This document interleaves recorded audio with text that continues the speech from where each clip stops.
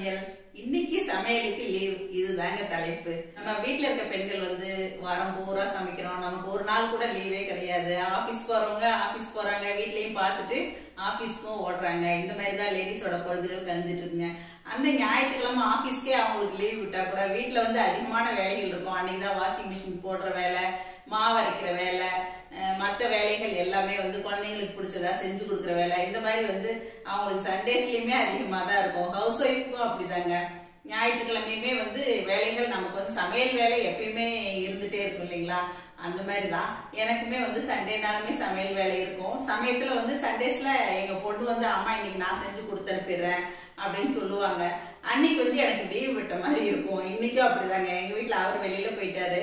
அதனால எங்க பொண்ணு வந்து அம்மா உங்களுக்கு நான் செஞ்சு கொடுத்து அனுப்பிடுறேன். நீங்க எதுவும் செய்ய வேண்டாம் அப்படின்னு சொல்லிட்டாங்க. அதனால இப்ப மணி ரெண்டாக போகுதுங்க மத்தியானம். நான் இப்ப வரைக்கும் என்ன பண்ணேன்னு கேக்குறீங்களா? தூங்கினேங்க.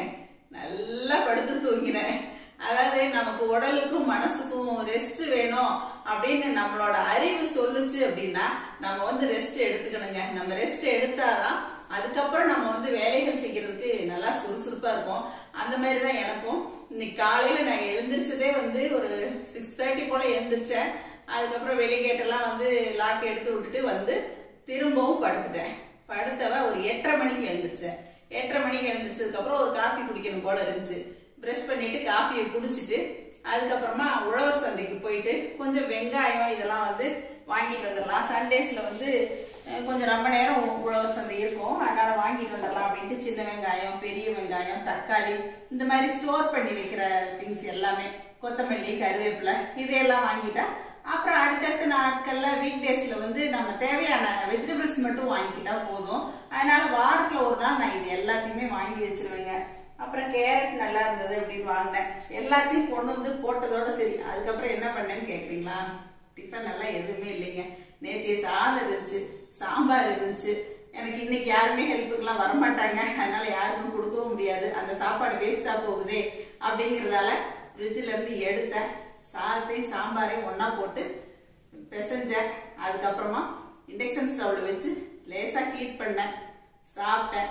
சாப்பிட்டு முடிச்சுட்டு பார்த்தேன். மணி பத்தே கலாச்சு. திவ்யமா மறுபடியும் ஒரு தூக்கம் வந்துச்சு. எடிட் பண்ணதான் உட்கார்ந்தேன். ஒரு வீடியோ போடணும் நம்ம இன்னைக்கு அப்படின்னு சொல்லிட்டு எடிட் பண்ணதான் உட்கார்ந்தேன். அப்படியே எடிட் பண்ண பண்ண அப்படியே தூக்கம் கண்ணுக்குள்ள இருந்துட்டே இருந்துச்சு. சரி போ அப்புறமா பாத்துக்கலாம் அப்படின்னு சொல்லிட்டு படுத்தேங்க. ஒரு பன்னெண்டே கால் போலதான் எழுந்திருச்சேன்.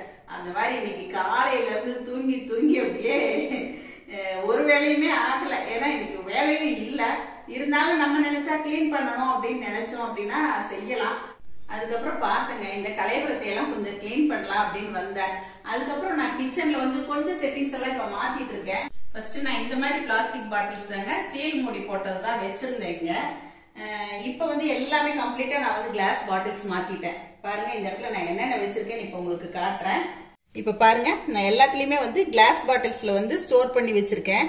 ஃபர்ஸ்ட் வந்து இந்த மாதிரி பாட்டில்ஸில் தான் நான் வச்சிருந்தேன். இப்போ பாருங்க இதில் எள்ளு கசூரி மேத்தி இதெல்லாம் போட்டு நான் ஃப்ரிட்ஜுக்குள்ளே வந்து ஸ்டோர் பண்ணுறதுக்காக எடுத்துக்கிட்டேன். ஏன்னா சமயத்தில் இதில் பார்க்கும்போது எனக்கு என்ன இருக்குன்னு இந்த டிசைன் இருக்கிறதுனால சமயத்தில் தெரியறது இல்லை அதனால இந்த வந்து ஃப்ரிட்ஜுக்கு யூஸ் பண்ணுறதுக்கு வச்சுக்கிட்டேங்க. இங்கே வந்து ஃபுல் அண்ட் ஃபுல் எல்லாமே கிளாஸ் பாட்டில்ஸ் கொண்டு வந்துட்டேன்.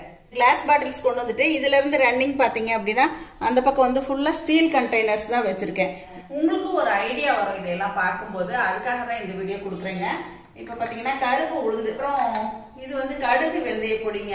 இது வந்து நம்ம புளி சாதம் புளிக்குழம்பு இந்த மாதிரி எல்லாம் செய்யும்போது ஊறுகாய் இதுக்கெல்லாமே நம்ம போட்டுக்கலாம். அதுக்காக நான் வந்து எப்பயுமே கடுகு வெந்தய பொடி நான் ஸ்டோர் பண்ணி வச்சிருப்பேங்க. அப்புறம் கசகசா கசகசா எனக்கு எப்பயுமே சமையல் கொஞ்சம் அதிகமாக தான் தேவைப்படும். அப்புறம் இதில் வந்து சோம்பு பொடி வச்சுருக்கேங்க. சோம்பு பொடியும் வந்து நான் இந்த பாட்டிலுக்கு ஒரு முக்கால் பாட்டில் இருக்கிற அளவுக்கு அரைச்சி வைப்பேன். அப்புறம் ஃபுல்லாகவே தீந்துருச்சு அப்படின்னா தான் மறுபடியும் அரைச்சி வைப்பேங்க. அப்புறம் சீரக பொடி இது வந்து சாதாரணமாக பொரியலுக்கு எல்லாத்துக்குமே நம்ம வாழைப்பூ கூட சேர்த்துக்கலாம். எல்லா பொரியலுக்குமே அவரைக்காய் பொரியலுக்கு சேர்த்தலாம் பீர்க்கங்காய் பொரியலுக்கு சேர்த்தலாம். அதனால சீரகத்தை வந்து லேசா வறுத்துட்டு இந்த மாதிரி பொடி பண்ணி வச்சுக்குவேங்க. அப்புறம் இன்னொன்னு பாத்தீங்கன்னா கருப்பு எள்ளு. நான் கருப்பு எள்ளும் அப்பப்ப யூஸ் பண்ணுவேன். அதனால கருப்பு எள்ளு வந்து கொஞ்சம் வெளியில வச்சிருக்கேங்க. இதுல எல்லாம் பாத்தீங்க அப்படின்னா இதுல வந்து ஏலக்காய் தூள் வச்சிருக்கேங்க. வெளியில தெரியுற மாதிரி தான் வச்சிருக்கேன். இது வந்து பிரியாணி மசாலா. ஏன்னா ஒன்றில் வந்து நான் கரம் மசாலா ஸ்டோர் பண்ணியிருக்கேன். ரெண்டையும் ஒரே மாதிரி பாட்டிலில் போட்டோம் அப்படின்னா வித்தியாசம் தெரியாது அப்படிங்கிறதுக்காக ஒன்றில் வந்து கரம் மசாலா ஒன்றில் பிரியாணி மசாலா இந்த மாதிரி ஷேப் உள்ள பாட்டிலையும் நான் எடுத்துக்கிட்டேங்க. அப்புறம் வந்து இந்த ஸ்டீல் பாக்ஸில் பார்த்தீங்க அப்படின்னா மஞ்சள் தூள் வச்சுருக்கேங்க. அப்புறம் இதில் சமையல் சோடா கொஞ்சமாக அப்பப்போ தேவைக்கு ஏதாவது எடுத்துக்கலாம் அப்படின்னு சொல்லிட்டு இந்த மாதிரி ஸ்டீல் பாக்ஸில் தான் போட்டு வச்சுருக்கேன். இப்போ இதில் எல்லாமே பார்த்தீங்க அப்படின்னா கொள்ளு ஒன்றில் கொஞ்சம் வச்சுருக்கேன். அப்புறம் பெப்பர் வந்து மிளகு இந்த மாதிரி பாட்டிலில் இருக்கும்போது நமக்கு வண்டு பிடிச்சாலும் தெரியும். அதனால் மிளகு இந்த மாதிரி போட்டு வச்சுருக்கேன். அப்புறம் ஒயிட் சோயா பீன்ஸு இது வந்து சாதாரண மிளகாத்தூள் இது வந்து காஷ்மீரி மிளகாத்தூள். இந்த குட்டி பாக்ஸ் ரெண்டுலையுமே இதில் வந்து கேசரி கலர் நம்ம எப்பயாவது கேசரி பண்ணோம் அப்படின்னா இந்த கேசரி பவுடர் யூஸ் பண்ணுறதுக்காக இதெல்லாம் நான் ஃப்ரிட்ஜுக்குள்ளே ஸ்டோர் பண்ண மாட்டேங்க. வெளியே தான் வச்சிருப்பேன். அப்படியே இருக்கும் ஒரு வருஷம் ஆனாலும். அதுக்கப்புறம் இதில் வந்து சுக்கு பொடிங்க. எல்லாத்தையும் நம்ம ஞாபகமா வச்சுக்கணும். இல்லைன்னா அது வந்து வேஸ்ட் ஆயிருங்க அப்புறம் இந்த மேலே பார்த்தீங்க அப்படின்னா புளியெல்லாம் நான் ஜாடியில் ஸ்டோர் பண்ணி வச்சிருக்கேன். அந்த பக்கம் ரெண்டு பாக்ஸில் வந்து பருப்பு தோரம்பருப்பு உளுத்தம் பருப்பு போட்டு வச்சிருக்கேன். இதில் வந்து குட்டி ஸ்பூனு இதில் பெரிய ஸ்பூன் வச்சிருக்கேன். அப்புறம் அஞ்சரைப்பட்டியில் அஞ்சரைப்பட்டி சாமான் எல்லாத்தையும் இந்த மாதிரி போட்டு வச்சுருக்கேங்க. இது எல்லாம் இப்போ வந்து கம்ப்ளீட்டாக ஈர துணி வச்சு தொடச்சிட்டு வர துணி வச்சு தொடச்சிட்டு இது எல்லாம் இன்னைக்கு கிளீன் பண்ற வேலையை பார்த்துருக்கேங்க. ஒரு ஒரு மணி நேரம் இந்த வேலை தான் முடிஞ்சிருக்கு. இப்போ இன்னும் அடுப்பு மேடை கலைவரம் இதை எல்லாத்தையும் சுத்தம் பண்ணணும். கருவேப்பிலை எல்லாம் வாங்கிட்டு வந்து அப்படியே போட்டுட்டேன். கொத்தமல்லி இலை இருந்துச்சு. அது வீணாயிருமே அப்படிங்கிறதுக்காக அதை மட்டும் உடனே வேற கட் பண்ணிட்டு உள்ள வச்சேன். கொத்தமல்லியுமே நான் வந்து தண்ணியில வாஷ் பண்ணி வைக்க மாட்டேங்க. ஏன்னா அது ஒரு வாரம்னா வச்சிருந்தோம் ஒரு நாலஞ்சு நாள் வச்சிருந்தோம் அப்படின்னா அழுகிடும். அதனால அப்போதைக்கு அப்பதான் நான் வந்து கொத்தமல்லியை வாஷ் பண்ணி வச்சுக்குவேன். இஞ்சி என்னடா இந்த மாதிரி குட்டி குட்டி பீஸா வாங்கியிருக்கேன் அப்படின்னு யோசிக்கிறீங்களா? இந்த இஞ்சி வந்து டீக்கெல்லாம் போடுறதுக்கு இந்த மாதிரி இருந்துச்சு அப்படின்னா ஒரு பீஸ் போட்டா போதும்.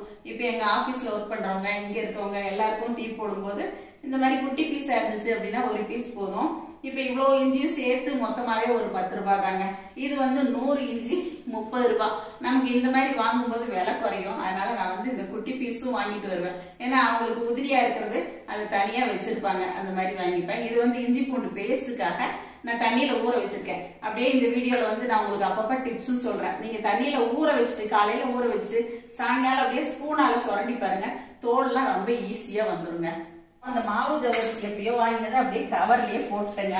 அதுக்கு ஒரு பாக்ஸ் எடுத்து வச்சுருக்கேன். இப்போ அதையெல்லாம் போட்டு எடுத்து வைக்கணும். உங்கள்கிட்ட பேசிக்கிட்டே எனக்கு வந்து இப்போ வேலையும் ஆகுதுங்க. கொஞ்ச நேரம் நம்ம படுத்திருந்துட்டாலும் அதுக்கப்புறம் எழுந்திரிச்சு நம்ம சுறுசுறுப்பாக செஞ்சோன்னா அதில் கிடைக்கிற ஒரு சுறுசுறுப்பே இருக்குது பாருங்க. அலாதி சொல்லவே முடியாதுங்க. அதுக்கப்புறம் நமக்கு கிடுகிடுன்னு வேலையாகுங்க. அப்புறம் இங்கேயுமே வந்து யூனிஃபார்மாக தான் எல்லாமே கண்டெய்னர்ஸ் வந்து வெளியில் தெரியிற மாதிரி தான் நான் வச்சுக்குவேங்க. நான் இப்போ இந்த வீடியோ ஆரம்பிக்கிறப்ப உங்ககிட்ட மணி ரெண்டாச்சுன்னு சொன்னேங்க. இதெல்லாம் நான் இன்னைக்கு க்ளீன் பண்ண தான் போறேன். ஆனால் வயிறு கொஞ்சம் பசிக்கிற மாதிரி இருக்கு. சாப்பிட்டுட்டு அதுக்கப்புறமா இதெல்லாம் க்ளீன் பண்ணிக்கலாம் அப்படின்னு முடிவு பண்ணுங்க. அப்புறம் நமக்கு லீவு தானே இன்னைக்கு? சமையலுக்கு லீவு தானே? நம்ம இன்னைக்கு டிவி பார்க்கலாம். அதை பண்ணலாம் இதை பண்ணலாம் அப்படின்னு நினைக்காம நம்ம வந்து நம்ம தேக்கி வச்சிருக்க வேலைகள் எல்லாத்தையுமே வந்து நம்ம ஒன்னொன்னா செய்யணும் அப்படின்னு நம்ம மனசுல நினைச்சிட்டு நம்ம செய்ய ஆரம்பிச்சா நம்மளோட வீடும் சுத்தமா இருக்குங்க. அதே சமயத்துல நம்ம இதையெல்லாம் சுத்தம் பண்ணும்போது நமக்கு மனசுக்கு கிடைக்கிற ஒரு அலாதியான இன்பம் இருக்கு பாருங்க. அதுவே தனிதாங்க. இப்ப எனக்கு இதெல்லாம் இப்படி இருக்கிறது ஒரு மாதிரியா இருக்கு. இதையெல்லாம் சுத்தம் பண்ணிட்டு பார்க்கும்போது அப்படியே மனசே ஒரு மாதிரி நல்லா இருக்க மாதிரி இருக்கும். நமக்கு அடுத்து சமைக்கிறதுக்கு வந்து ஆர்வமா இருக்கும். நமக்கே வந்து சமையல் ரூம்ல இதை செய்யலாமா? அதை செய்யலாமா? அப்படிங்கிற ஒரு யோசனை வரும். அதுக்கு முன்னாடி பார்த்தா என்னத்த நம்ம செய்யறோம் போ அப்படின்னு ஒரு அலுப்பு தட்டிடும் நமக்கு. மற்ற நாட்கள்லயுமே வேலை இருந்தா செய்வேங்க. வேலை செஞ்சுட்டு இருக்கிறக்க நமக்கு ஒரு அரை மணி நேரம் ரெஸ்ட் தேவை அப்படின்னு நமக்கு வந்து அறிவு சொல்லும். ஆனா அந்த மனசு கேட்காது. அந்த மனசு வந்து நம்ம அடுத்த வேலையை முடிக்கிறதுலயே தான் நம்ம குறியா இருப்போம் அந்த மாதிரி நமக்கு பண்ணும்போது கால்வலி இருக்கவங்களுக்கு கால்வலி பேக் பெயின் இருக்கவங்களுக்கு பேக் பெயின் இதெல்லாமே அதிகமாக தான் ஆகும். நானுமே சமயத்துல அந்த மாதிரி எல்லாம் செய்யறது உண்டு. எங்க பொண்ணு சத்தம் போடுவாங்க அம்மா கொஞ்ச நேரம் ரெஸ்ட் எடுத்து செய்யுங்க இல்லைன்னா வைங்க நான் செய்யறேன் அப்படின்னு சொல்லுவாங்க. அவங்க அந்த பக்கம் ப்ராடக்ட்ல அவங்களுக்கு ஒர்க் சரியா இருக்கும். அதனால எனக்கு மனசு கேட்காது. நம்மளே செஞ்சிடலாம். செஞ்சு முடிச்சுட்டு ரெஸ்ட் எடுத்துக்கலாம் அப்படின்னு சொல்லிட்டு எடுப்பேன். அப்புறம் ஒரு ஒரு நாளைக்கு கொஞ்ச நேரம் நம்ம ரெஸ்ட் எடுத்துக்கலாம். எடுத்துட்டு அப்புறமா செய்யலாம். அப்படின்னு மார்னிங் பிரேக்ஃபாஸ்ட் முடிச்சுட்டு அதுக்கப்புறமா கொஞ்ச நேரம் ரெஸ்ட் எடுத்துட்டு சமையல் ஆரம்பிப்பாங்க. கூடுமான வரைக்கும் நான் என்ன பண்ணுவேன் அப்படின்னா மார்னிங் பிரேக்ஃபாஸ்ட் முடிக்கிறதுக்கு முன்னாடியே நான் வந்து லஞ்சுக்கு என்னென்ன வேணும் எல்லாத்தையுமே நான் ரெடி பண்ணி வச்சிருவேன். நம்ம பிரேக்ஃபாஸ்ட் முடிச்ச உடனே நமக்கு வந்து சமைக்கிறதுக்கு சரியா இருக்கும். ஒரு ஒரு நாளைக்கு நான் சமையலையும் அந்த பிரேக்ஃபாஸ்ட்டுக்கு முன்னாடியே முடிச்சு வைக்கிற நாட்களும் உண்டு. எல்லா நாளும் ஒரே மாதிரியே இருக்காது இல்லைங்களா? அந்த மாதிரி நமக்கு நமக்குள்ள நாமளே வந்து சுறுசுறுப்பா வரவழைச்சுக்கணும். அப்பதான் வந்து நம்ம உடம்பும் ஆரோக்கியமா இருக்கும். நம்ம மனசும் ஆரோக்கியமா இருக்கும். நம்ம சமையல் அறையும் நமக்கு வந்து சுத்தமா இருக்குங்க. அதே மாதிரி நமக்கு பசி இருக்கும்போது சாப்பிட்டுட்டு தான் நம்ம அடுத்த வேலையை பார்க்கணுங்க. பசியோட வேலையை செஞ்சோம் அப்படின்னா நமக்கு கண்டிப்பா தலைவலி வரும். அதனால வந்து நிறைய பிரச்சனைகள் வரும். அதனால நம்ம வந்து சாப்பிட்டுட்டு அதுக்கப்புறம் வேலையை பார்க்கணும். அதே மாதிரி அந்த சாப்பாடும் வந்து நம்ம கரெக்டாக அந்த டைமுக்கு கரெக்டாக எடுத்துக்கணும். நான் எல்லாருக்கிட்டையுமே சொல்கிறது தான் நீங்கள் அதை பண்ணுறீங்களா அப்படின்னு கேட்குறீங்களா நான் வந்து பர்ஃபெக்டாக ஃபாலோ பண்ணுறேங்க சாப்பிட்றது தூங்குறது இதையெல்லாம் வந்து நான் கரெக்டாக எதை பண்ணுறேனோ இல்லையா அதை வந்து நான் கரெக்டாக பண்ணிடுறேன். காலையில் வந்து கூடுமான வரைக்கும் எட்டரைலேருந்து ஒன்பது மணிக்குள்ளே நாங்கள் எடுத்துக்குவோம் மார்னிங் பிரேக்ஃபாஸ்ட்டு சமயத்தில் ஃப்ரூட்ஸ் மட்டுமே கூட நான் எடுத்துக்குவேன். எதுவாக இருந்தாலும் அந்த எட்டரைல ஒன்பது மணிக்குள்ளே முடிச்சிருவேன். அதே மாதிரி மத்தியானம் எங்கள் வீட்டில் வந்து ஒன்னே கால் லஞ்ச் டைம் மீறி போனா சமயத்துல ஒரு கால் மணி நேரம் அரை மணி நேரம் லேட் ஆகுங்க. அதுவே வந்து இன்னும் ஒரு மணி ஆக்கணும் அப்படின்னு ட்ரை பண்றேன். ஆனாலும் எல்லாரும் வர்றதுக்கு ஒன்னே ஆயிருது. எல்லாரும் வர்றதுக்கு முன்னாடி நம்ம சாப்பிடக்கூடாது அப்படின்னு சொல்லிட்டு எல்லாரும் வந்ததுக்கு அப்புறம் ஒன்னா உட்காந்து சாப்பிடுவோம். அதே மாதிரி நைட்டு வந்து இப்ப ரொம்ப ஏழியர் ஆக்கிட்டேங்க செவன் தேர்ட்டிக்கெல்லாம் வந்து எங்களோட டின்னர் முடிச்சிடறாங்க இட்லியோ தோசையோ சப்பாத்தியோ கோதுமை தோசையோ அது கோதுமை உப்புமாவோ இல்ல மத்தியானம் வச்ச சாதம் ரசமோ எதுவா இருந்தாலும் சரி. அந்த செவன் தேர்ட்டிக்குள்ள முடிச்சிடுறேன். அதையுமே வந்து எங்க ஃபேமிலி ஃப்ரெண்டு உங்க எல்லாருக்குமே தெரியும். சக்திவேல் டாக்டர் என்ன சொல்லுவாரு? அம்மா நீங்க ஒரு ஆறு மணி ஆறரைக்குள்ள நீங்க முடிச்சு பாருங்க. உடம்பு வெயிட் குறையும். எனக்கு வந்து வெயிட் குறையறதுக்கு கால் வலி ரொம்ப அதிகமா இருக்குங்க. என்னால நடக்க முடியல வாக்கிங் போக முடியல. பத்து நாளா போய் பார்த்தேன். ஒன்றும் சரியா வரல. கால் வலி அதிகமா வந்துருச்சு. அதனால நம்ம என்ன பண்ணலாம்? டயட்ல தான் கரெக்ட் பண்ணி கொண்டு வரணும் அப்படின்னு சொல்லிட்டு நான் எக்ஸசைஸ் கொஞ்சம் மெயின்டைன் பண்றேன். அதனால அவர் சொன்ன மாதிரி இப்ப கொஞ்சம் ஏழியரா ஒரு எயிட் எயிட் தேர்ட்டிக்கு எடுத்துட்டு இருந்தவங்க இப்ப செவன் தேர்ட்டிக்கு வந்திருக்கோம். நான் வந்து சமயத்துல இப்பெல்லாம் வந்து நைட்டு எங்க வீட்டுல அவர் வரட்டும் அதெல்லாம் எதையுமே எதிர்பார்க்க மாட்டேன். ஏழு மணி ஏழைகால்னா என்னோட டின்னர் முடிச்சுக்கிறேன். அந்த மாதிரி நம்ம சாப்பிடும்போது நமக்கு வந்து உடம்பு ஆரோக்கியமா இருக்குங்க. அதனால பசியோட வேலை செய்யவே கூடாது. இப்ப நான் எங்க வரேன்னு பாக்குறீங்களா? இப்போ வந்து எங்க பொண்ணு இன்னைக்கு சண்டே நான்வெஜ் செஞ்சு கொண்டு வந்து இப்போ உங்ககிட்ட பேசிட்டு இருக்கும்போதே வச்சுட்டு போயிட்டாங்க. என்னை வந்து ஒயிட் ரைஸ் மட்டும் நீங்க வைக்குமான்னு சொன்னாங்க. அவங்க வந்து பிரியாணி பண்ணியிருக்காங்க. அதனால நான் இப்ப அதை சாப்பிட போறேன். ஒயிட் ரைஸும் ரெடியா இருக்கு. இப்ப காகத்துக்கு வச்சுட்டு சாப்பிட்டுட்டு அதுக்கப்புறமும் கொஞ்ச நேரம் ரெஸ்ட் எடுப்போம். அப்புறம் நாலு மணிக்கு பாத்துக்கலாம் அப்படின்னு நினைச்சா கூட இன்னைக்கு காலையில இருந்து இன்னும் குளிக்கல ஒண்ணுமே பண்ணல. அதனால சரி குளிச்சுட்டு அதுக்கப்புறம் ஃப்ரெஷ்ஷா ஆரம்பிக்கலாம் அப்படின்னு முடிவு பண்ணாலும் பண்ணுவேங்க. அதனால நம்ம வீடு நம்ம தான் சுத்தமா வச்சுக்கணும் அப்படிங்கிற எண்ணம் இருந்தா எத்தனை மணியா இருந்தாலும் நம்மளால முடியுங்க. அப்புறம் இந்த ஏரியாவும் பாத்தீங்கன்னா அப்படியே ஃபுல்லா எல்லாமே கலைபுரமா தான் இருக்கு. பாருங்க இங்க இருந்து அந்த லாஸ்ட் வரைக்கும் எல்லாமே அங்கங்க இருக்கு. அது நாங்க எப்பயுமே வந்து காலத்துக்கு சாப்பாடு வச்சுட்டு பழக்கங்க. இங்க வச்சுட்டு வந்து இப்ப நானும் சாப்பிட போறேங்க. இப்ப என் பொண்ணு பிரியாணி கொண்டு வந்து ஹாட் பேக்லாம் நீட்டா வச்சுட்டு போயிட்டாங்க. இப்ப நான் காகத்துக்கும் சாப்பாடு வச்சுட்டு வந்துட்டேங்க. இப்ப நானும் சாப்பிட போறேன். பழமொழி சொல்லுவாங்கல்லங்க பசி வந்தால் பத்தும் பறந்திடும் அப்படின்னு சொல்லிட்டு. அது மாதிரி கூட வச்சு சாப்பிட்றதுக்கு கூடவே கொஞ்சம் மட்டன் குழம்புமே வச்சுருக்காங்க. தயிர் பச்சடி வச்சு நான் சாப்பிட போகிறேங்க வாங்க நீங்களும் மட்டன் பிரியாணி சாப்பிட்லாம். ஸ்டார்டிங்லாம் எங்கள் பொண்ணு பிரியாணி பண்ணும்போது அம்மா இது போடலாமா அதை போடலாமான்னு கேட்டு செய்வாங்க. ஆனால் இப்போல்லாம் என்னையவே மீறிட்டாங்க. சூப்பராக பண்ணியிருக்காங்க இந்த கலரே பாருங்களேன். பார்க்கும்போதே அந்த பிரியாணி கலர் ஒரிஜினல் கலர் கிடச்சிருக்கு. ஆனால் பிரியாணிக்கு நான் போடுற அளவுக்கு தக்காளி கூட போட மாட்டாங்க. ரொம்ப நல்லா செய்ய கற்றுக்கிட்டாங்க ரொம்ப அருமையாக இருக்கும். ஒரு நாள் எங்கள் பொண்ணு போடுற பிரியாணி உங்களுக்கு நான் வீடியோவாக கொடுக்குறேங்க. அப்புறம் இதில் வந்து எங்களோட சரசு ஃபுட் ப்ராடக்ட்ஸ் பிரியாணி மசால் தான் சேர்த்திருக்காங்க. அந்த பிரியாணி மசால் வந்து பிரியாணிக்கு ரொம்ப தூக்கலாக ரொம்ப நல்லா இருக்குங்க. நான் எங்களோட ஃபுட் ப்ராடக்ட்ஸ் சொல்லல. நீங்கள் வாங்கினவங்க எல்லாருமே நிறைய பேர் இது வந்து திருப்பி திருப்பி வாங்குறீங்க. இப்போ பாருங்க காகத்துக்கு சாப்பாடு வச்சோடனே சாப்பிட்டுட்டு அது வந்து தண்ணியும் குடிக்க ஆரம்பிச்சிருச்சு. இதை பார்க்கும்போது நமக்கு மனசுல ஒரு திருப்தி கிடைக்குது இல்லைங்களா? எப்பயுமே வந்து ஒரு மணிக்கெல்லாம் வச்சிருவோம். ஒன்றுல இருந்து ஒன்றரை கிலோ வச்சிருவோம். இன்னைக்கு கொஞ்சம் லேட் பண்ணிட்டேன். அதனால அது சாப்பிடுதோ இல்லையோ பார்க்கலாம் அப்படின்னு சொல்லிட்டு நான் சாப்பிட சாப்பிட தான் இப்போ எழுந்து வந்தேன் அது சாப்பிட்றது நமக்கு கொஞ்சம் மனசுக்கு நிறைவா இருக்குங்க. நான் சாப்பிட்டதுக்கப்புறமா என்னென்ன வேலைகள் செஞ்சேன்? ஈவினிங்லேருந்து நைட் வரைக்கும் என்னுடைய அலுவல்கள்லாம் என்ன அப்படிங்கிறத உங்களுக்கு தனி விளாகாக கொடுக்குறேங்க. அப்புறம் மறுநாள் காலையில் எழுந்திரிச்சு கூட நான் என்ன செஞ்சேன் அப்படிங்கிறதையும் இந்த விளாகில் நான் சேர்த்து கொடுக்குறேங்க.